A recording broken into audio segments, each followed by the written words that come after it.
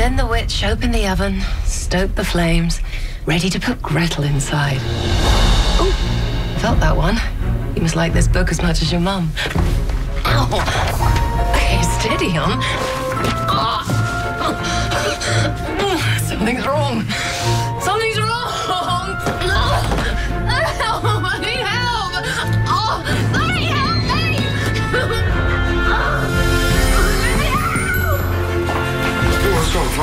A bit difficult to explain. You better see for yourselves. Uh, careful. Could be another one of her tricks.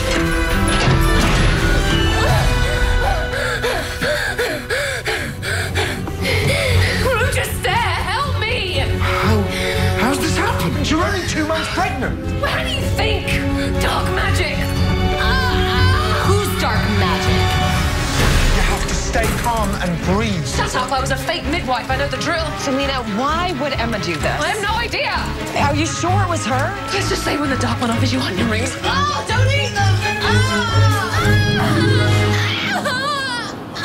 Someone scream for a doctor? There is an angry baby inside of me. Get it out! You know, the last time I delivered a baby, you tried to steal it. But why try to steal one when making one is so much more fun, right? Dr. Whale. We really need another doctor in this town. What's with the dye job? Oh, so so Emma changes her hair and no one makes a fuss, but I get ridiculed? Yeah? Come on. You know you like it. Oh my god, stop talking! Didn't I kill you the last time I was here? No, you just threw me across the room. I hope that doesn't happen again this time. Okay. All business today. Got it. Uh, let's get those vitals going, get that baby out of you. Everybody get ready. We have to protect that baby from Emma. She's here? She will be soon, and we found that spell to destroy my magic in Merlin's spellbook. The only thing she needs other than Excalibur is... Cries of a newborn child. Oh, she's not taking this baby, not while I'm still alive. Regina, take this cuff off so I can defend myself and my child, please. You are far from trustworthy.